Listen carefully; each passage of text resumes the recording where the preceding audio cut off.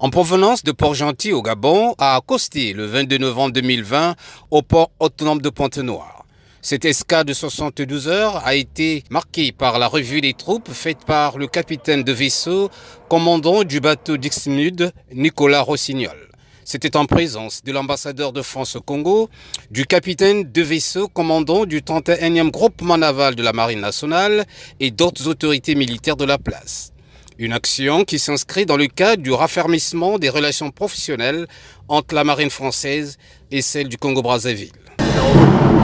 Le, bâtiment est déployé actuellement dans le cadre de l'opération Corimbe, qui est une opération de présence quasi permanente de la France dans la région du golfe de Guinée, aux côtés de nos partenaires euh, africains.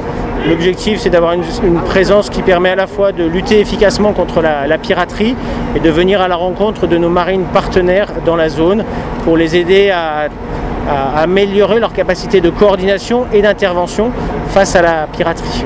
Alors pendant deux jours, ici à Pointe-Noire, on va profiter de, cette euh, escale pour, euh, pour ravitailler, mais également euh, s'entraîner avec les plongeurs congolais, mais également avec les fusiliers marins congolais pour leur permettre de transférer notre, savoir-faire en termes d'intervention face à des navires susceptibles d'être piratés.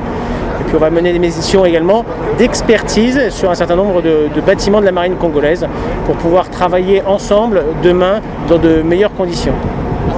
L'arrivée de ce navire français à Pointe-Noire constitue un intérêt particulier pour les marins congolais, car ils bénéficieront de l'expérience de leurs frères d'armes en matière d'entraînement et de formation. Et donc euh, le bateau Dixmude est euh, à Pointe-Noire pour une escale de routine. C'est une escale pendant laquelle ils vont résoudre certains problèmes, notamment logistiques, les approvisionnements, le repos des équipages, parfois des petits problèmes techniques à résoudre.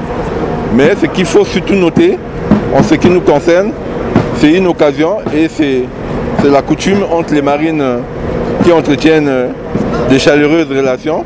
Et donc je disais que c'est une occasion pour mener des activités de coopération, notamment l'entraînement, la formation du personnel. Le bateau Dixmude, dont le rôle est d'assurer la sécurité et la lutte contre la piraterie maritime à travers les pays du Golfe de Guinée, est long de 199 mètres et large de 32 mètres avec un équipage de 600 personnes.